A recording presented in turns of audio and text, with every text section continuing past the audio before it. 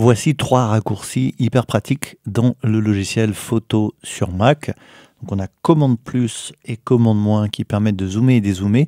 On retrouve ces raccourcis dans Affinity Photo, qui est un équivalent de Photoshop sur Mac, j'en profite pour le rappeler. Dans Pixelmator Pro, également un autre logiciel équivalent à Photoshop et Illustrator sur Mac, donc j'en profite également pour rappeler, j'ai une petite préférence d'ailleurs pour celui-ci et c'est également le même raccourci que sur Photoshop. Donc, que ce soit sur Photoshop, sur Affinity Photo, sur Pixelmator Pro ou sur Photo, vous avez le même raccourci pour zoomer ou dézoomer dans vos photos, c'est commande plus et commande moins. Donc ça, c'est assez classique. Maintenant, on a un troisième raccourci, c'est la touche Z dans Photo. Alors vous allez me dire, ok, ça zoome à moitié simplement, c'est euh, pas terrible.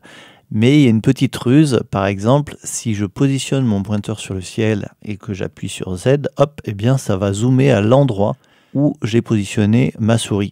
Si je me mets sur l'arbre, hop, je zoome sur l'arbre. Si je me mets sur la terre, hop, je zoome sur la terre. Donc j'ai pas besoin de cliquer, simplement en positionnant mon pointeur à un endroit de la photo. Donc c'est assez pratique. Si je me mets sur l'arbre par exemple, j'ai euh, indiqué à quel endroit je voulais zoomer et là je peux continuer en faisant commande plus ou commande moins donc la combinaison de ces raccourcis fonctionne très très bien dans Photo. Voilà pour la petite astuce du jour. Merci de l'avoir suivi. Comme d'habitude, si vous avez des questions, n'hésitez pas à les poser dans les commentaires. Et moi, je vous dis à samedi prochain pour la prochaine astuce photo sur le blog.